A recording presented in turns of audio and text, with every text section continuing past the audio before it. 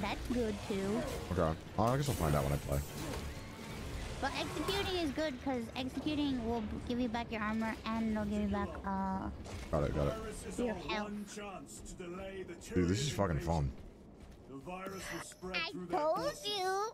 They Look, look, I, there's nothing. You don't get into a reward, all right, for being right about this, all right? I still get a, a reward. no, you don't. Where's my reward? You don't huh? get a reward. Shooting at me.